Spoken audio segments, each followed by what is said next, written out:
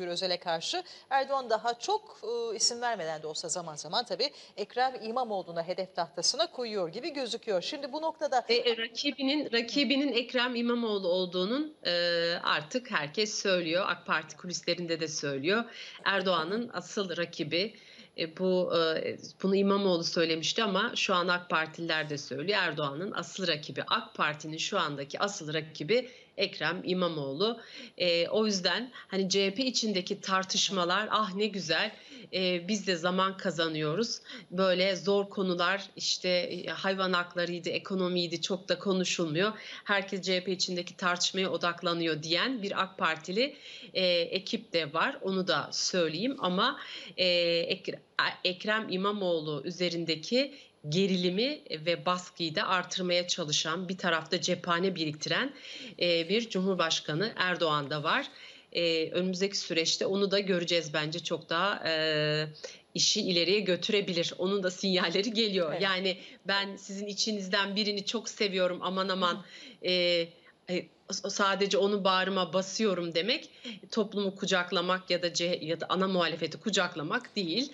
Burada bir e, amaç ve niyet var. Bunu da herkes görüyor. Çok az vaktimiz kaldı ama anladığımız kadarıyla Ekrem İmamoğlu deyince Kemal Kılıçdaroğlu hançerlendiğini düşünüyor. Kim neden hançerledi? Özgür Özel de bizim partimizde hançer olmaz. Hançer demokrasiye ait bir enstrüman değil e, yorumunu yapıyor. Anladığımız kadarıyla Kemal Kılıçdaroğlu e, bir ihanete uğradığını düşünüyor. Bu anlamda bu, bu, bu kapsamda var mı Hilal Köylü'nün elinde kulis bilgisi?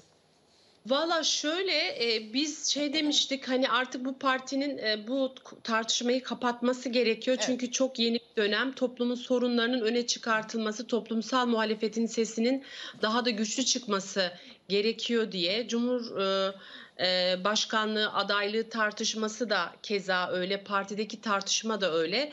E, CHP Genel Başkanı'nın da partililere bu konuda konuşmayın talimatı var ama partililer zaten konuşmuyor ki. E, partililer e, ko- konuşmuyor, konuşana bakın diyor. Konuşanlar kim? E, Kemal Kılıçdaroğlu. Kemal Kılıçdaroğlu mutsuz. E, işte halen yenilgiyi e, kabullenememiş olmanın travmasını e, yaşıyor. Bu yüzden bir takım mesajlar veriyor ama bu mesajların unutulup gideceği de aşikar. E, bu tartışma eğer büyütülürse e, ki hani e, Ekrem İmamoğlu da Cumhurbaşkanlığı adaylığı başta olmak üzere niye bizi konuşuyorsunuz karşı tarafı konuşun demişti. Çok doğru bir e, tespitti.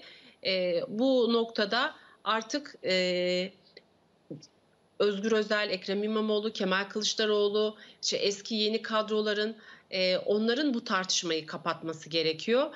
E, yoksa partililerin gündeminde e, hani ben bunu da çok göremiyorum. Evet. E, niye böyle biz de anlamıyoruz diyen, e, biz de çözemiyoruz Kemal Kılıçdaroğlu'nu diyen çok sayıda e, partili var. İşte e, tüzük kurultayını seçimli kurultaya çevirmeye çalışıyor e, gibi değerlendirmeler yapılıyor ama ne nasıl olacak çok da mümkün görünmüyor. CHP değişti mi? Ee, onun hani liderlik düzeyinde bir değişim, kadrolarda bir değişim oldu. Politikaları da e, halk gözlüyor, gözlemliyor. Onu da zamanla daha net analiz edeceğiz. Evet. O yüzden CHP bu kavgadan e, çıkarsa çok daha öne geçmiş olacak iktidar karşısında. Şimdi az önce ekranlara getirdiğimiz o anket sonuçlarında işte Cumhuriyet Halk Partisi'nde bu tabloyu değiştirmek için acaba böyle bir iç tartışma yaratabilir miyiz e, bir yandan baktığımızda e, AKP cephesinde bu konuşulurken tabii Kılıçdaroğlu'nun açıklamaları da bunu alevlendirmiş oldu. Bizim muhatap alacağımız bir suçlama değil dedi Ekrem İmamoğlu. Özgür Özel, Genel Başkan Özgür Özel ise e, biz o tartışmayı kurultayda çoktan kapattık yorumunu yaptı. Çok teşekkür ediyoruz gazeteci Hilal Köylü bizlerle birlikteydi bu bölümde. Kolaylıklar diliyoruz. İyi yayınlar.